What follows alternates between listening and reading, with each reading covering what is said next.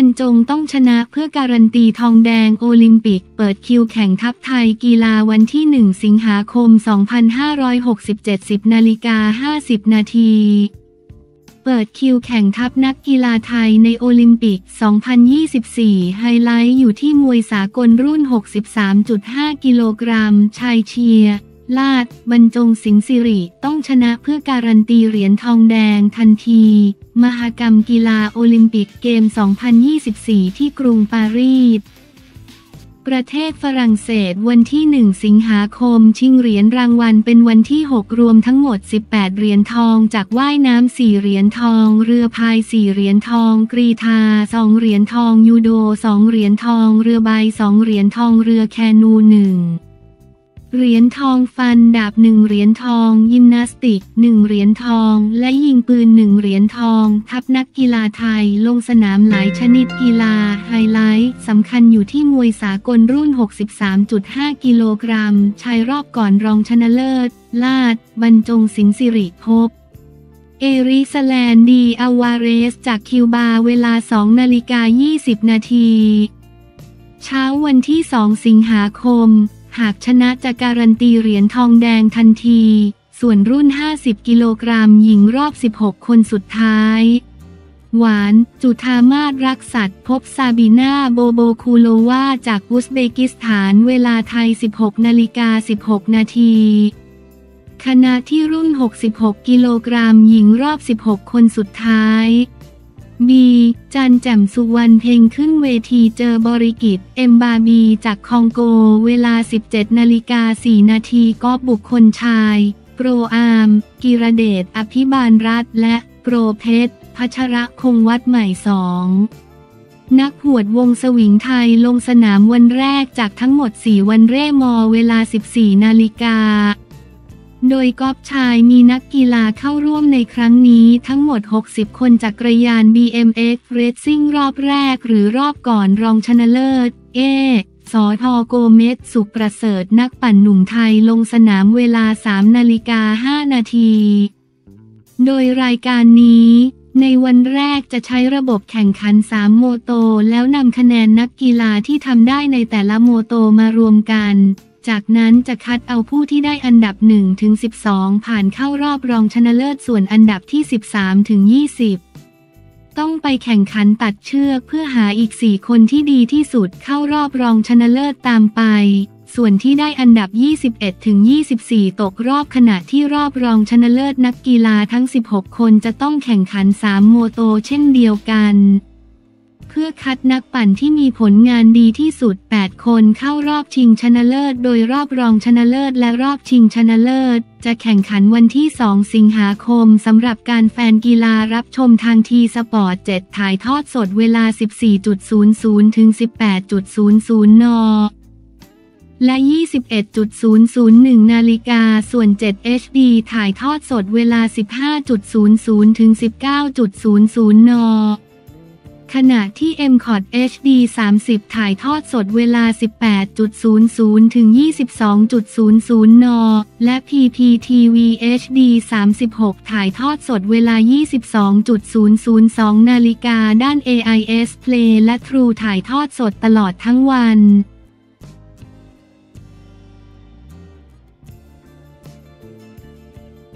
นายกรัฐมนตรีปลื้มส่งออกข้าวไทยครึ่งปีแรก 5 ล้านตัน โกยเงิน 1.17 แสนเนล ตั้งเป้าปี 67 ส่งออกเกิน 8.2 ล้านตัน การเมืองวันที่ 1 สิงหาคม 2567 8นาฬิกา54 นาที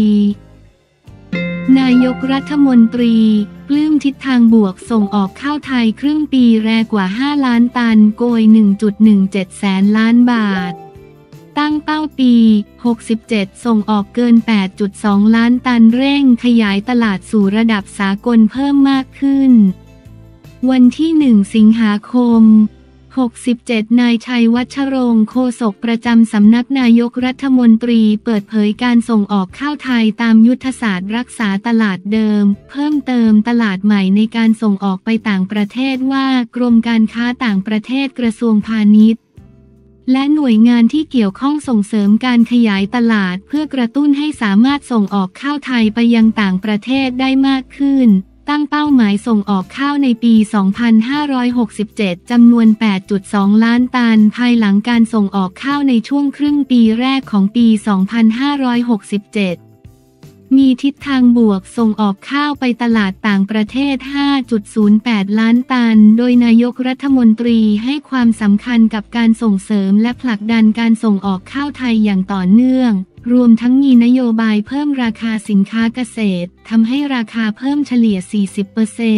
40%สนับสนุนการจัดกิจกรรมส่งเสริมการประชาสัมพันธ์ข้าวไทย เพื่อโอกาสประชาสัมพันธ์ศักยภาพและคุณภาพของข้าวไทย เพิ่มปริมาณส่งออกข้าวไทย เพิ่มรายได้ให้กับเกษตรกรและอุตสาหกรรมข้าวไทย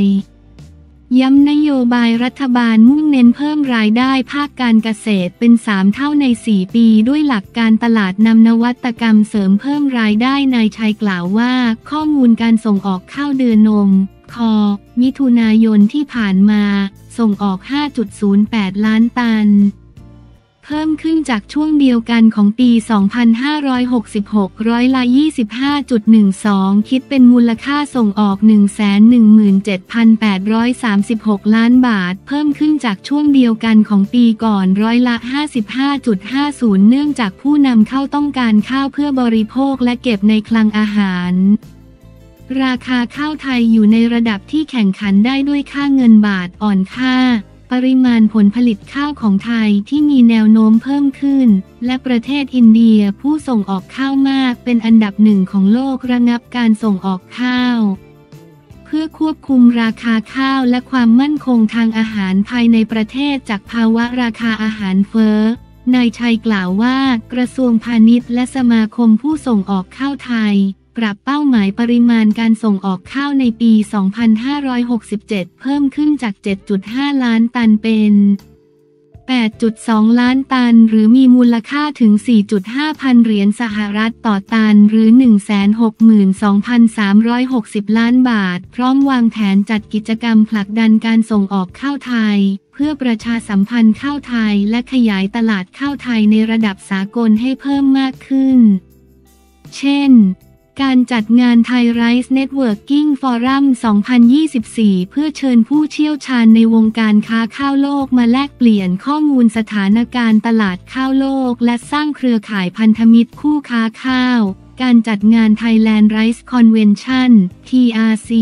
สัญจรเพื่อกระชับความสัมพันธ์กับผู้นำเข้าข้าวสำคัญ และการเข้าร่วมงานแสดงสินค้าในต่างประเทศอย่างต่อเนื่อง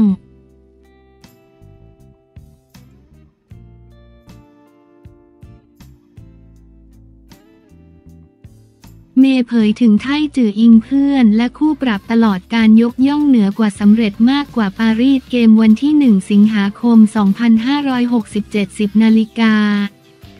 เมรัชนก อินทนนท์นักแบดมินตันมือ 21 ของโลกวัย 29 ปี เอาชนะไท่จืออิงในการแข่งขันรอบแรกกลุ่ม E2 ถึง0เกม 21ถึง19 21-15 ทำให้เก็บชัย 2 นัด คว้าแชมป์กลุ่มผ่านเข้ารอบ 8 คนสุดท้าย ส่วนไทซื่อหญิงที่มีอาการเจ็บในเกมนั้นตกรอบโดยหลังเกมทั้งคู่ได้สวมกอดและร้องไห้ออกมา ซึ่งเป็นช็อตประทับใจเรียกเสียงปรบมือลั่นสนาม ทั้งนี้มีการคาดกันว่าไทจืออิงวัย 30 ปีจะแขวนแร็กเก็ตหลังจบโอลิมปิกเกม ครั้งนี้ อย่างไรก็ตามมีรายงานว่า เธอยังต้องการดูสภาพอาการบาดเจ็บหัวเข่าอีกครั้ง ว่าจะกลับมาสมบูรณ์พร้อมแข่งขันต่อหรือไม่ ฉันเป็นคนอ่อนไหวมากสไตล์ของเราคล้ายกันมาก เหมือนเล่นกับตัวเองหน้ากระจกฉันบอกเธอว่าฉันดีใจที่เราเข้าร่วมโอลิมปิกด้วยกัน และหวังว่าเธอจะโชคดี น้องเมย์กล่าวถึงคำพูดที่พูดกับไทจืออิง หลังจบการแข่งขันเมรัชนกกล่าวถึงไท่จืออิง ซึ่งถือเป็นคู่ปรับตลอดการของตัวเอง ด้วยว่ามันเหมือนเราร่วมเดินเส้นทางนี้มานาน ตั้งแต่อายุ 15-16 ปีเป็น 10 10 ปีแล้ว ที่รู้จักกันมาเห็นรูปร่าง การเปลี่ยนแปลงไทจืออิงมีหนาขึ้นเป็นนักแบดมินตันที่เจอมากที่สุดในทัวร์รัชนกกล่าวต่อว่ายอมรับว่าตนเองยังไม่สามารถก้าวข้ามจุดเดิมได้ แต่ไทจื่ออิงนั้นได้เหรียญโอลิมปิกไปแล้ว อาจไม่ได้แชมป์โลกก็จริง แต่มหกรรมใหญ่ๆ คว้าเหรียญมาหมดแล้วตัวเองนั้นเล่นกับไทจืออิงมานานรู้ทางกันดียอมรับเลยว่าสิ่งที่ไทจืออิงเหนือกว่าตนคือสภาพจิตใจสำหรับน้องเมย์จะลงแข่งขันโอลิมปิกเกมรอบ 8 คนสุดท้าย วันที่ 3 สิงหาคม 67 ซึ่งเป็นการเข้ารอบ quarter final โอลิมปิกหนที่ 3 ต่อจากปี 2012 และ 2020 แต่ยังไม่เคยไปลึกกว่ารอบนี้